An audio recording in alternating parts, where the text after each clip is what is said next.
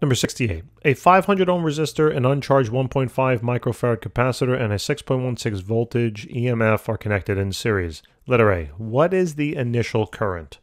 All right, so first of all, um, if we're gonna if we're going to create a current in this particular uh, circuit, it is a, basically a discharging type of a circuit. It is not charging anymore. We're discharging the stored charge. Okay. In other words, what that tells us then is that we're going to be using this. We should be using this formula. All right. That the voltage at some point in time, you can call it the final voltage. It doesn't really matter. All right. I'll call it V sub t, or some point in time is equal to then the initial voltage multiplied by base E raised to the negative t over RC. Now, the t simply represents the elapsed time, okay? and the R and the C represent the resistance of the circuit and the capacitance of the circuit. So one thing is you might be saying, well, okay, that's great, but uh, hey, bud, we're trying to solve for uh, current here. You got voltage. Yeah, yeah. Well, that's the formula that's given. So what we're going to have to do is we're going to have to do a substitution. In other words, remember Ohm's law, that V is equal to IR. In other words, what I can substitute here instead of V sub t is I could write I sub t, or at the current at some point in time, uh, multiplied then by the uh, resistance at some point in time will equal then the current initially multiplied by the resistance initially, okay, times then E raised to the negative t over RC. Now, a couple of things we need to consider. The resistance doesn't change. How do I know that? Well, I just know it. The resistance doesn't change. You've only seen changing resistance when temperature changes. They didn't say anything about temperature changing here, so I will assume that they are the same. And if they're the same mathematically, they will cancel. All right? Resistance is kind of independent there. So in other words, now this breaks down to just this formula, right? Now, they said, what is the initial current? Hmm. So initial current. They're looking for this thing, right? Isn't that correct? So if this is the initial current, right, and you wanted to, let's say, solve this thing, right, for initial current, it would then look, you would just divide this term on out, right? So let's just go bada bing, bada boom, just like that. Okay? Now, let's start simplifying some stuff. How much time has elapsed if it's initial? I think zero, right? So don't even worry about plugging anything in there. If this is zero in the numerator, this whole thing now becomes, this whole thing now, let me just move this up a little bit. This whole thing will now become I sub t over e raised to the negative zero over rt. Well, this, the whole thing just goes to zero. Negative zero is just zero. And e to the zero, or any number raised to the zero, is just one. So in other words, what this is telling us that uh, the initial current here uh, will equal the current at that point in time. And uh, yeah, right? I mean, it didn't really help at all. All, it, all it's saying is that the final current at some point in time is equal to the initial because the time was zero, right?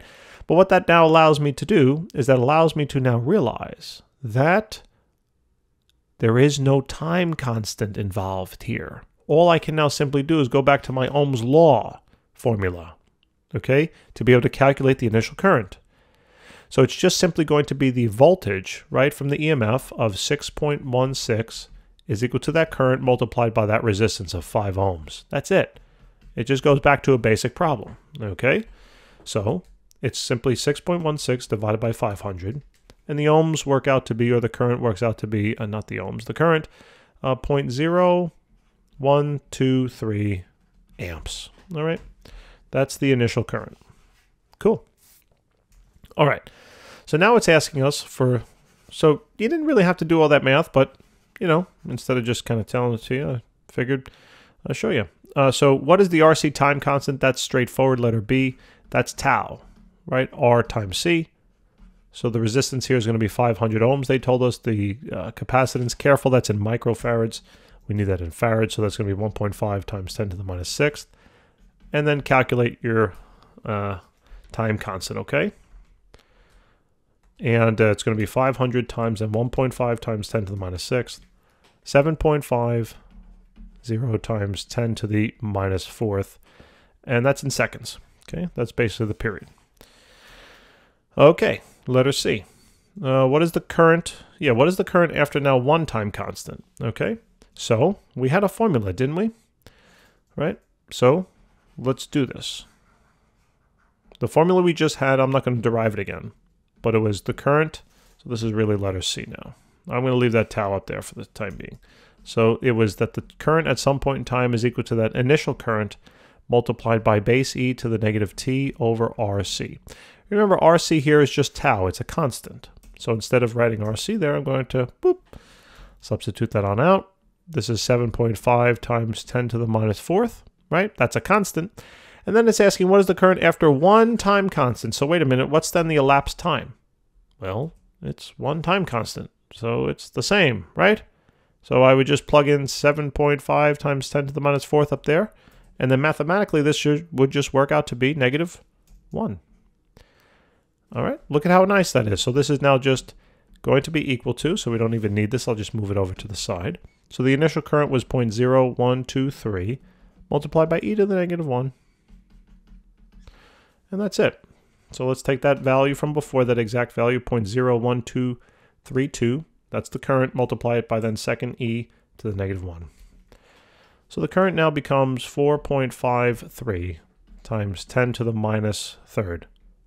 Right, this is really to the minus second, so obviously you can see the current has now decreased. All right, so that should hopefully make sense. And my goodness, now it's asking us what is the voltage on the capacitor after one time constant. So now this is literally the same thing. We're just going back to this formula, the original, that the, the voltage at some point in time is equal to the initial voltage multiplied by e to the negative t over rc. We already noticed what's going to happen here, right? If it's one time constant, this whole thing just goes to one. So all I need to do to figure out that voltage at that period in time after one time constant is to know the initial. What's the initial? Up, oh, 6.16. So it's the same fractional change, basically, as the current.